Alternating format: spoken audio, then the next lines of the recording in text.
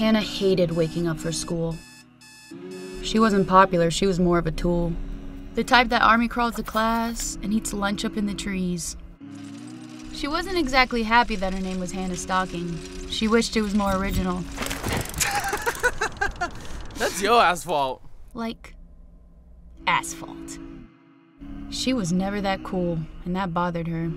Her only way to hang with the popular kids was when they'd call her over to make them laugh. Hannah, come here. Make us laugh. But she was just the weirdo they kept around for entertainment. It was hard for her to make true friends. She developed insecurities, her long neck being one of them.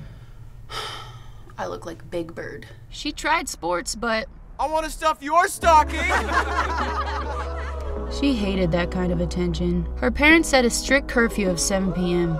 She felt like she was in jail while everyone in her school was able to make friends without her. So she started to sneak out and go to parties every single school night. And she would come home just in time to wake up for school. Hannah, get up for school!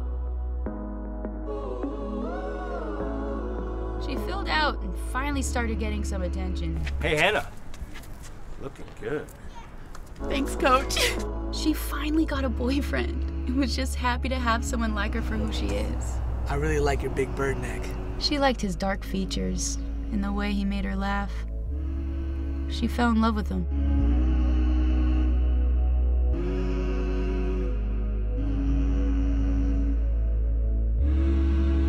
He ended up cheating on her with a popular girl named Jessie.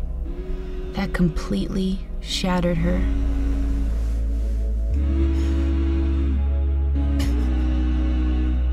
As revenge, she hooked up with Jesse's super hot ex, Brady.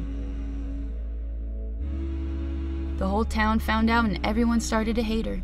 In her eyes, it was completely unfair. So, she left to a school in LA to ditch everything anyone ever knew her as, and she could finally be asphalt.